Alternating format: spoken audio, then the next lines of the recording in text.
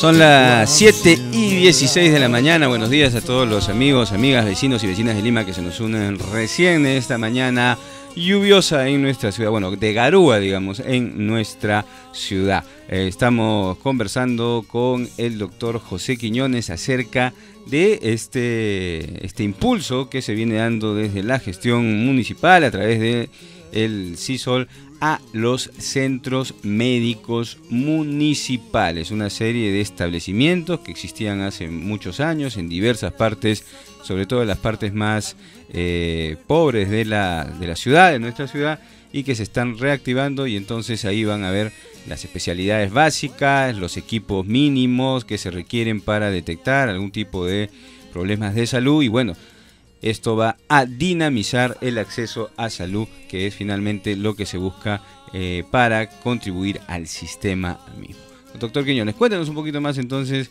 de cómo están viendo y cuándo se tomó la decisión, porque esto ya está, aquí vemos las imágenes donde la alcaldesa Susana Villarán ha participado esta semana en la reinauguración, digamos, de el centro Las Violetas. ¿Cómo así? En Las Violetas, sí, justamente eh, en Independencia. En Independencia. ¿Ya están, desde cuándo han comenzado a funcionar? ¿Esta foto de cuándo es? Sí, eh, bueno, nosotros hemos empezado a relanzar estos establecimientos, digamos, a hacer el trabajo de potenciación de hace aproximadamente un mes, pero como comprenderás, lleva su tiempo el hacer este... Eh, el trabajo de la infra, mejoramiento de la infraestructura, contratar los profesionales, instalar los sistemas, entonces nos ha llevado cierto tiempo, en realidad tenemos ya algunos meses en la parte preparatoria, pero en el transcurso de esta semana, el día 19, hemos hecho el, lanzamiento con la participación de la alcaldesa. Y en realidad hay que entenderlo no como un punto de llegada, esta no es la culminación de un proceso de cambio, es más bien el primer peldaño de ese proceso porque el rescatar los centros médicos, el primer paso es la infraestructura y el nuevo equipamiento, pero el segundo paso tiene que ser el lograr que la comunidad participe y sea copartícipe de un proceso de gestión de la salud a nivel territorial. Eso suena muy interesante. ¿Cómo, ¿Cómo, es? Porque eh, justamente la, idea, la idea es que nosotros no apostamos desde la visión de la alcaldesa Susana Villarán por una salud netamente recuperativa, sino que el trabajo por la salud de la población debe ser promover la vida sana de las personas, la práctica de hábitos saludables, de ambientes saludables. Eh, los vecinos se quejaban el otro día de que, oye, qué bonito está el centro médico, pero qué pena que a una cuadra hay un mercado y botadero de basura, eh, hay un sitio donde hay cantinas y la gente se orina en la calle la verdad de qué estamos hablando, ¿no es cierto? Entonces estamos promoviendo nosotros que una alianza entre el centro y la comunidad y los municipios distritales eh, podamos comprometer a toda la comunidad para mejorar ese ambiente, eh, hacer que se practique deporte, que la gente sal, camine cada día más, que no haga una vida sedentaria. Entonces todo eso apunta a lo mismo, a que los hospitales tengan menos enfermos que atender y se descongestionen los sistemas de salud. Centros de salud, establecimientos de salud como focos de irradiación de mejores relaciones sociales, finalmente es de lo que se trata, porque la presencia de los centros de salud a nivel del país en, presencia del Estado es la segunda después de los colegios. hay creo que 25 mil colegios y solo del Ministerio de Salud hay casi ya 8.000 establecimientos, ¿no? Entonces, y estos establecimientos están en casi todas las partes del país y si se convierten, como señala el doctor Quiñones, no solo en atención de la enfermedad que es necesario atenderla cuando se presenta, sino en focos en los cuales se relaciona con la comunidad, se hace campaña de prevención, de información, etcétera, etcétera. Entonces hay una potencialidad ahí que si se impulsara como en otros países, las cosas comenzarían a cambiar poco a poco, pero para bien de la comunidad finalmente, ¿no? Y eso se ha hecho en otras partes del mundo. Por supuesto, hay muchas eh, experiencias ya en el país de, por ejemplo, promover el tema de los barrios saludables, las ciudades saludables. Eh, nosotros estamos avanzando en ese camino sin usar la etiqueta, porque muchas veces empieza la discusión de quién es el padre, quién es la madre de tal propuesta, y mm. creo que eso es lo que menos importa.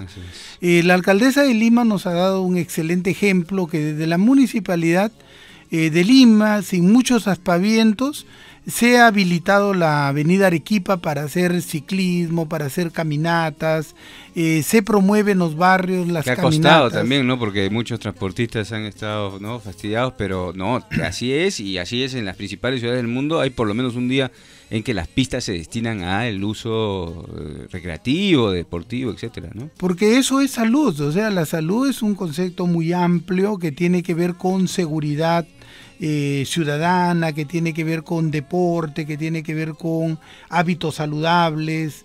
Eh, y lógicamente un aspecto de todo eso son los servicios recuperativos de la salud. Pero si nos quedamos solamente en lo recuperativo, resulta que los servicios de salud vienen a ser un monumento a la enfermedad. La enfermología. La enfermología. Entonces ese es un problema. Exacto, y el Ministerio de Salud es justamente el Ministerio de Salud, ¿no? no el Ministerio de la Atención de la Enfermedad. Eso es quizá lo que ese es el cambio paradigmático más grande que tenemos que asumir como gobiernos y como sociedad también, ¿no? El día que eso ingrese verdaderamente a nuestras conciencias, entonces el sistema de salud se va a convertir en una de las principales herramientas para cambiar el país. Eso sí, eh, la potencialidad de los sistemas de salud es gigante. Doctor, acá yo veo que eh, se está poniendo énfasis en los pacientes del CIS por las zonas donde están ubicados estos centros médicos municipales van a tener más afluencia de pacientes del CIS. ¿Eso ya se está comprobando en la, en la realidad? Sí, este, a ver, nosotros eh, hemos empezado el convenio con el CIS a partir de septiembre del año 2012 y este, la curva va ascendiendo paulatinamente, eh, tanto en los hospitales de Lima como en provincias. La demanda cada vez es mucho más grande porque los pacientes CIS eh, tienen ahora dónde elegir. Entonces el paciente CIS puede ahora elegir eh, inclusive ir a salud en algunos sitios, ir a los establecimientos del MINSA o ir a CISOL. Y eso es bueno porque obliga a las instituciones a mejorar. Entonces, todos ahora están preocupados de tener centros atractivos, de atender mejor, de atender más rápido. Y creo que eso es muy bueno para que mejore la calidad de atención eh, para los, pacientes. Entonces, eh, somos, estamos muy orgullosos de ser parte de ese proceso que este, promueve que las instituciones también se vayan reformateando, actualizando, eh, mejorando. Y en el caso de los centros médicos este, municipales que están muy cerca a los sitios de extrema pobreza, eh, la gente que se había alejado de los establecimientos porque preferían irse directo al hospital para que ahí tienen rayos X, tienen especialistas, ahora están a una cuadra de su casa y prefieren ir al establecimiento, ¿no? Muy bien, qué interesante todo esto que viene sucediendo. Y en relación al sí, sí, justamente hemos brindado las informaciones aquí en el programa acerca de cómo en Chiclayo, ¿no es cierto?, está dando eso. Y en Cusco, ¿no?, que el hospital del CISOL también ha adquirido una nueva infraestructura, ¿no? Sí, en el caso de Cusco es un tema sumamente interesante porque la oferta de salud está muy limitada, sobre todo en este momento y lo va a estar durante dos años porque el Ministerio de Salud está construyendo un nuevo, hospital, Lorena.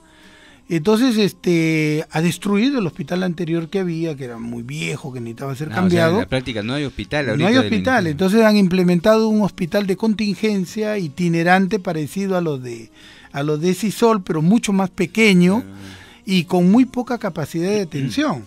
Entonces hay una gran cantidad de población que está recurriendo al mm. Hospital de Solidaridad del Cusco. Entonces ha llegado el momento preciso. Sí, este, lo gracioso es que nosotros hemos comprado una clínica, un local moderno para mudarnos y ahora en vez de mudarnos vamos a tener que operar con los, dos, porque no nos alcanzamos, ¿no?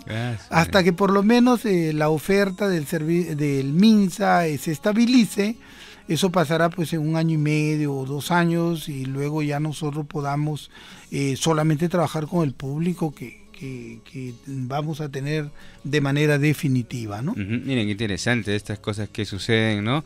que a veces no, no se conocen, pero en Cusco justamente coincide ¿no? con la remodelación del Hospital Lorena esta aparición del el CISOL. ¿Qué otras ventajas, doctor Quiñones, van a tener los vecinos de, de esta zona? Bueno, uno es la accesibilidad, que está de manera inmediata, el otro es que, bueno, en relación a los costos, si son del CIS no pagan nada, y, si son de usuarios que no tienen seguro, bueno, son los precios de las consultas eh, como son en todos los hospitales de solidaridad. ¿Así es? Sí, efectivamente, los costos este, son los mismos, este, pero también estamos dando un paso más importante. Eh, debemos reconocer que el CIS ha sido, digamos, muy generoso para darnos facilidades en que podamos entrar en este sistema y hay una etapa que no habíamos nosotros podido iniciar, que era cerrar el círculo de la atención con la entrega de medicamentos genéricos a los pacientes. Porque el manejo de medicamentos requiere una serie de pasos, una serie de mecanismos que lo complejiza un poco. Eh, sin embargo, ya en las coordinaciones con el doctor Pedro Grillo y su equipo, hemos definido que a partir del primero de julio, estamos nosotros entrando ya en nuestros hospitales a cerrar el círculo, no solamente de diagnóstico, atención, sino también de, entrega eh, de medicamentos genéricos. Pero el día 19 que hemos lanzado el Centro Médico Las Violetas, lo hemos lanzado este, ya con medicamentos. Entonces ya es entrar también en una nueva etapa en la cual vamos a ir paulatinamente, pero vamos a ir cerrando todas las etapas de este gran compromiso de, cambio en servicio de salud de CISOL. Y que hay toda una discusión ahorita en el país en relación a esto, hay propuestas que se están discutiendo sobre la reforma del sector salud, etcétera, etcétera, y justamente por ello el desarrollo del CISOL entra a engranar en toda esta discusión. Vamos a hacer la pausa central de Salud para Todos del día de hoy, sábado 22 de junio del 2003. Estamos conversando sobre los centros médicos municipales, pero también sobre varios aspectos más relacionados al sistema de salud de la Municipalidad de Lima con el doctor José Quiñones, director de Servicio de Salud del CISOL, con el cual vamos a seguir conversando más adelante. Volvemos en un par de minutos.